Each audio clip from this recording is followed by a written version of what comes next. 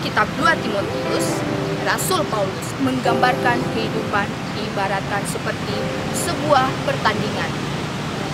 Kehidupan pelayanan pun sering diibaratkan oleh banyak orang seperti sebuah pertandingan lari estafet. Mewariskan tongkat estafet dari masa ke masa, periode ke periode. Apakah semua sesederhana itu? Dengan semangat Natal, kita galang terus persaudaraan kinerja dan kualitas iman. Sobat muda, hadiri dan doakan ibadah perayaan Natal Pemuda Immanuel Palu yang akan dilaksanakan pada